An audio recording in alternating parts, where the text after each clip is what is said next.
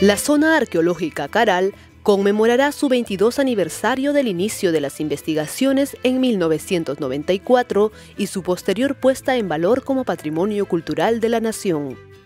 El viceministro de Interculturalidad, Alfredo Luna Briceño, destacó la importancia de la cultura como parte del desarrollo de nuestra historia. Caral es una muestra fehaciente de lo que significa la labor del arqueólogo en función del aporte al desarrollo de una nación. Ruchadi ha hecho de Caral no solamente una zona de investigación arqueológica, sino una zona de irradiación de desarrollo regional.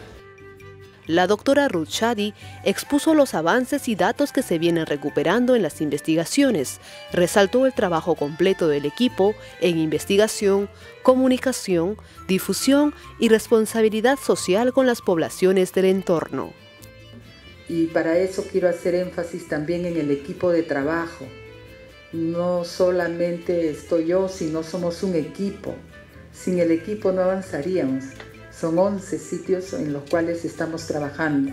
Sin investigación no tendremos un conocimiento adecuado de cómo se manejó este territorio peruano que es tan complejo, la celebración se llevará a cabo desde este jueves 27, viernes 28 y sábado 29 en la zona arqueológica Caral, ubicada en el valle medio del río Supe, distrito de Supe Pueblo, provincia de Barranca.